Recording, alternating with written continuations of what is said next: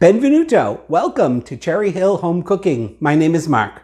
Today we're going to make my version of a sweet potato and carrot soup or bisque. Of course, a bisque is generally something that's made with cream and it's all blended together and it just sounds nicer. So we're going to call it sweet potato and carrot bisque. Now, the one thing we're going to change on this one today is we're going to make it completely vegan. Um, I have done this uh, using butter and dairy products, uh, but I thought, hey, it'd be nice to have a couple more vegan um, or vegetarian, but this is this is completely vegan uh, recipes um, up for you guys. So we're going to make this vegan. So what are we going to need for our recipe today? Of course, the two most important ingredients are sweet potatoes and carrots. Now I've got a total about two and a half pounds of sweet potatoes. I've got about a pound of carrots, all right? So two and a half pounds of sweet potatoes is going to be three or four medium sized um, sweet potatoes. Uh, a pound of carrots is going to be two big carrots. All right. And um, for our um, broth base of it, we're going to be using some vegetable stock because we're going to be keeping this vegan. If I wasn't doing it vegan, I'm I probably you would use vegetable stock, but you could also use uh, chicken. And we're going to use some coconut milk, full fat. Uh, this recipe's got such a small amount of fat in it. Uh, using the full fat coconut milk will, um, you know, it gives it that a little bit of that luscious mouthfeel with the fat. Um, also unsweetened, all right, because we, have got uh, sweet potatoes and the carrots are sweet, so you want to get the unsweetened. Uh, we're going to use some um, warm autumn spices or spices that uh, you know, get me in the mood for autumn. So we've got some ground ginger, some ground nutmeg, and I'm going to use a little cumin in there. Um, we're going to need, of course, some salt and pepper. We're going to need some uh, uh, good quality extra virgin olive oil to get our, our onions fried up. Oh, speaking of that, we need a whole, a large onion. Um, and believe it or not, guys, that's it for our soup. Then we're going to garnish it. Of course, just some garnishes you might uh, use. We've got some uh, sunflower seeds. Um, we're going to have a sandwich uh, with our soup tonight. Um, so I'm not going to use um, breadcrumbs uh, or um, croutons. But if you love croutons, of course, I'm sure Wade will probably put some uh, oyster crackers on there. Or you could garnish it with some um, parsley or uh, chives. As I just said, soup and salad. Uh, I'm sorry, soup and a sandwich is one of my favorite um, weekday meals in the cool weather and the cold weather, of course.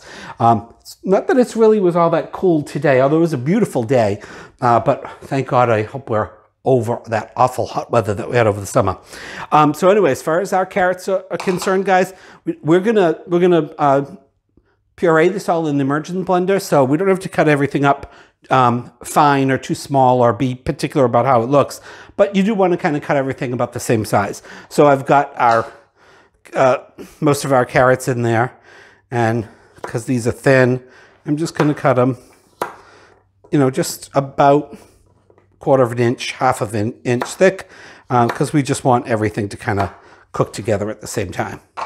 Um, same thing with our sweet potato. This is a was a small sweet potato. Cut that into fourths. And then just give the sides a cut. Again, don't be fussy with it. We just want everything to cook around the same time.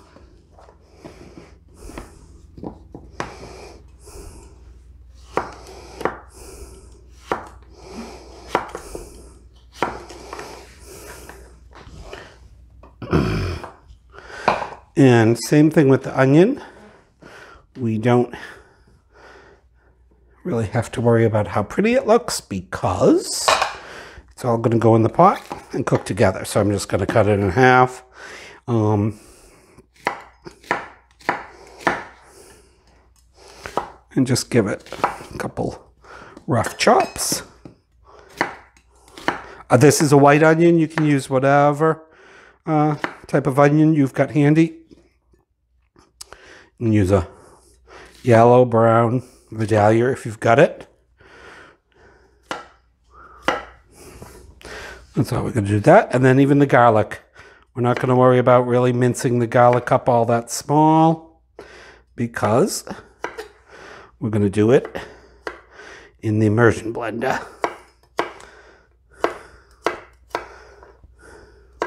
All right, that's all of our prep, with the exception of peeling the carrots and the sweet potatoes, um, which I didn't think you'd enjoy watching me struggle uh, peeling uh, sweet potatoes. However, you don't have to peel them. Um, of course, there's, um, we're going to cook everything in the broth. We're not going to drain the water or anything. So we're going to, you know, retain uh, the nutrients from uh, the sweet potatoes and the, the, carrots. Sometimes if you boil them um, and you've um, uh, peeled them, a lot of times the nutrients are, you know, at least some of them you're, you know, throwing down the drain. Uh, but so if you don't want to peel them, just uh, scrub them good and um, chop them up like that. All right, I'm going to clean this stuff up, get everything organized, and we're going to get everything in the pot. See you in a bit.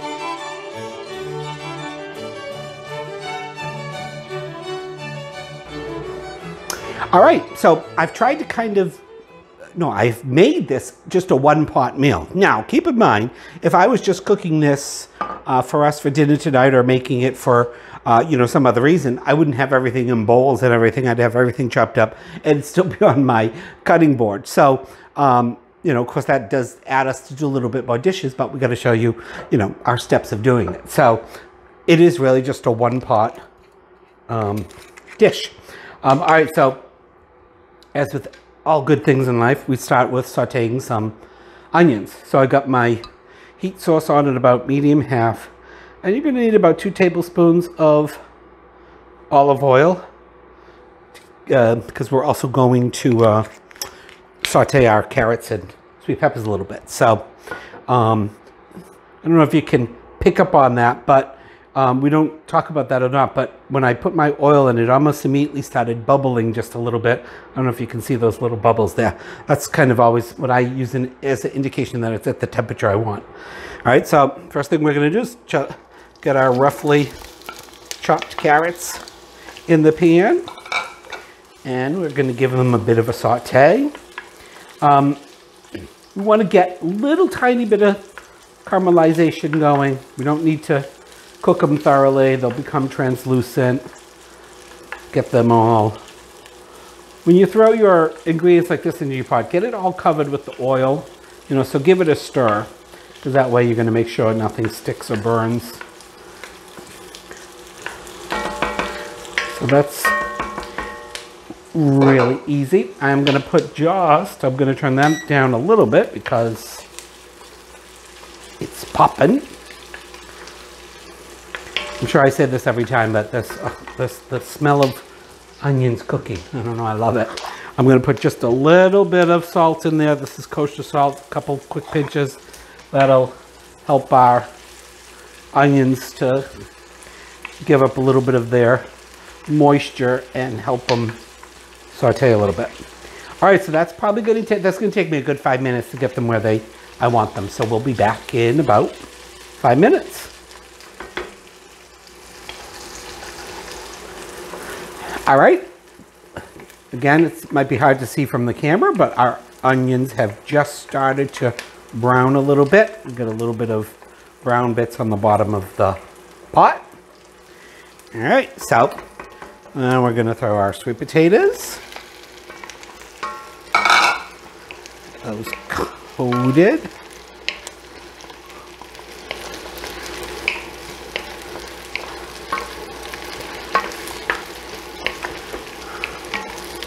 And we're gonna put our carrots in. Now, I like to saute the carrots and the potatoes a bit. I think I'm gonna need a little bit more oil.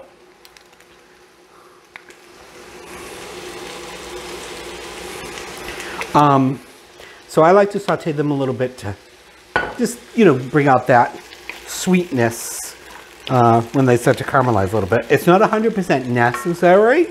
That's the way I like them and Wade and I like it. So, uh, all right, I'm to do just one little bit more sprinkle of salt. Another two pinches, two finger pinch. Um, I don't know, I just was reading somewhere or was watching a YouTube something and somebody was doing a recipe and they referred to it as a, a, a two finger pinch is a regular pinch. And then that person, I could have I gotta look back on my history because I forgot who said it, but then they, they used the term a large pinch, which is a three finger pinch. I never knew that. Well, I don't know if it's a real thing or not, but that's what that person said. All right, so again, we've got our carrots and our our carrots and our sweet potatoes kind of coated in our oil. And we're gonna let those saute for a good five, ten minutes, say eight, nine minutes. Um, and you do have to stick uh, close to the pot. You don't want to necessarily walk away from it because you don't want it to burn. So you want to stick around and give it a stir every couple minutes to move them around so you bring the uh, ones on the bottom up the top. All right, we'll be back in about eight minutes.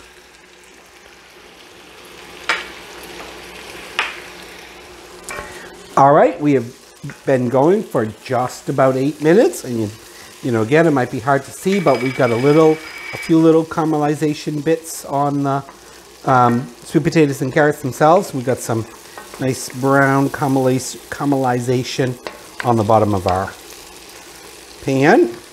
All right, so we're going to throw our garlic in.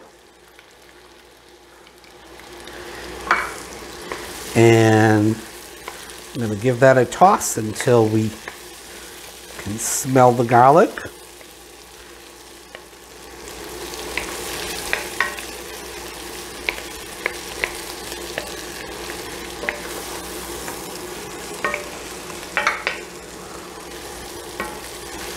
Mm, there, I got it. That was just about 20 seconds, maybe 25. That's like uh, really, really fresh uh, garlic. I got that at the um, produce stand today and was their own garlic run of the summer. And oh, it was beautiful. Um, all right, so now we're going to use probably in total about four cups of vegetable stock. For this particular phase of our recipe, we're just going to cover our vegetables. Depending upon how big your pot is and so on, that'll be two to three cups probably. All right, so we're just going to cover them. All right, I'm going to do a little bit of pepper. Give it two full pinches. And we'll give a three finger pinch of salt.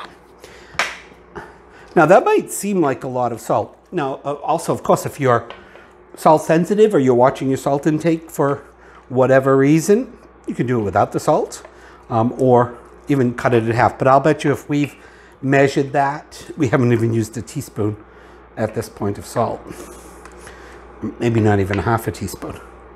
All right, so so the, um, the amount of stock we're going to use is going to depend upon how thick you want it. We'll talk about that in a little while. We're not going to do our um, coconut milk yet, but we're going to throw our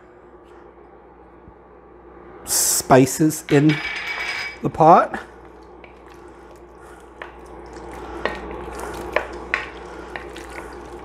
I might put a little bit more stock in there.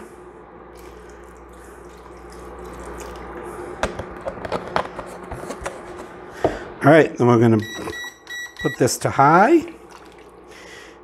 And we're going to bring this to a boil. And again, now's not the time to go vacuum or anything or uh, jump on the treadmill um, because you want to catch this as soon as it comes to a boil. Uh, so we'll be back when it's boiling. All right, guys, you can see we're at a nice hard boil. And it's smelling delicious. Mm. And smell that little bit of ginger and the cumin and mm. all right. So I'm gonna add our coconut. I'm gonna leave it boiling at this point. So I've left the heat. I'm gonna add our coconut milk.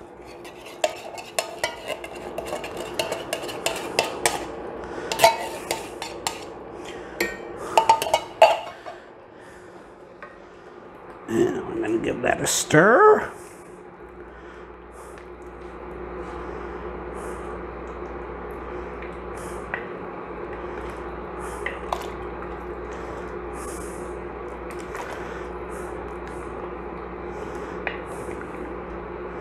All right, now even though we haven't come right back to the boil, that's fine.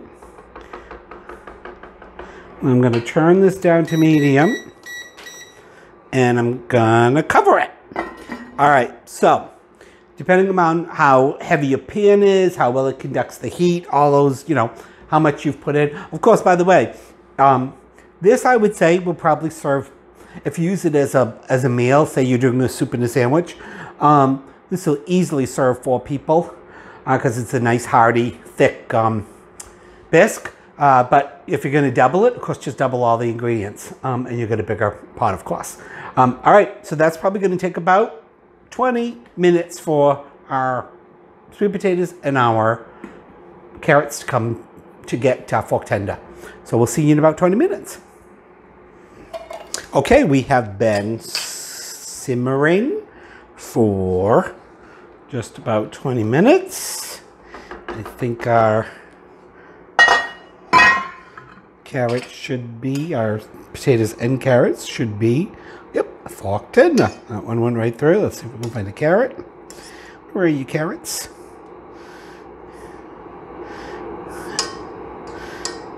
And went right through a carrot. Good. All right, so now, one thing I forgot when we were going over the um, directions is, is I'm going to use a little bit of cream of coconut. Again, that's going to give it a little bit more of that luscious feel that you get, mouth feel that you get with, um, if you're using uh, cream, but just a small amount. I'm just going to put a couple, maybe about a fourth of a cup. You don't have to add the cream of coconut. Cream of coconut can be expensive. It's more, much more expensive than um, coconut milk. So you can admit it, omit it. All right, so stir that together a bit. Now, our next step, I'm going to turn the heat off.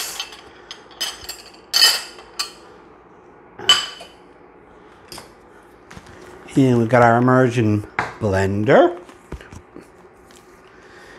Um, if you don't have an immersion blender, um, you can certainly use a blender, a regular stand blender. Um, you know, just be careful when you're pouring it in. Your liquid's going to be really hot. You could even just use a um, potato, a mashed potato masher or a masher.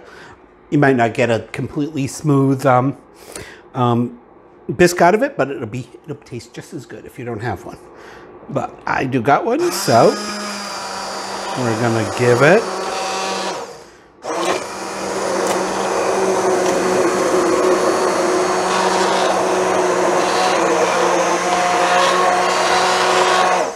Now this also depends upon how um, blended you want it, how creamy you want it. If you do want it uh, a little bit more rustic, then leave some texture.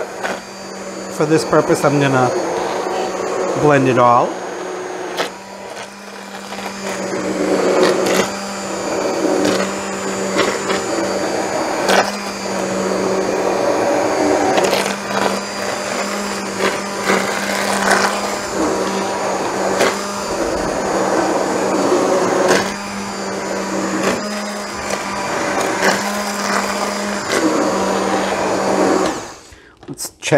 Check our texture. Oh, actually, that's just about where um, I like it. It's not too thick, it's not too thin, and that has been just about, it's almost been four cups of stock. We'll put that, of course, in the recipe. Um, so if you wanted it a little bit thicker, of course, use less um, stock. If you want it a little bit thinner, um, use more. And if you make a mistake, you could always do a slurry. If you put too much in and it thins it down a little bit, do a little, do a uh, cornstarch slurry. Add it in slowly till it gets to the consistency you want.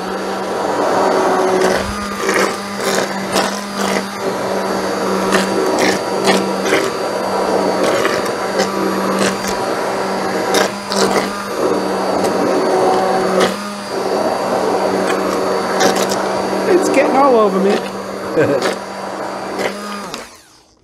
all right. I might need that again, so I'm going to put this here. Of course, let me just check it. Yep. So that's what I think is a really nice consistency for a soup bisque. Okay, let's give it a taste. Our seasoning. Salt and pepper, because I'm dropping everything.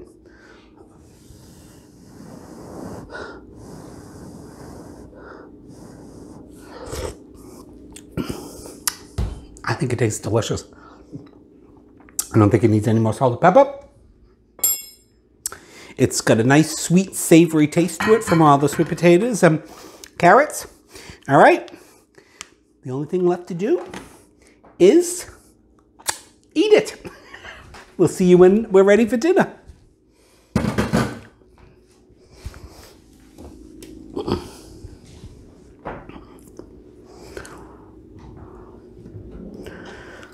Okay, it's time to eat. Let's give it a taste. Oh, it looks so nice. I got a little bit of uh, sunflower seeds on my end. Taste it before you garnish. Mmm. This is, this is good. It's delicious.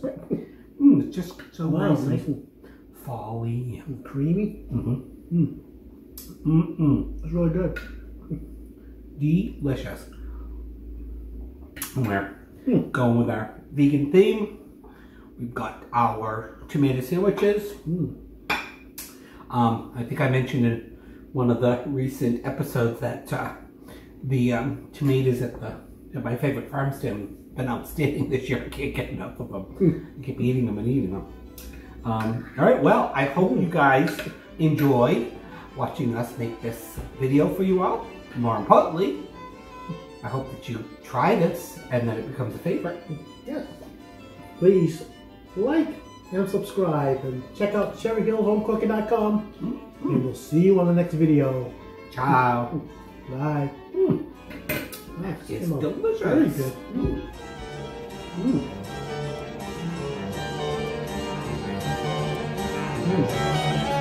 Mm.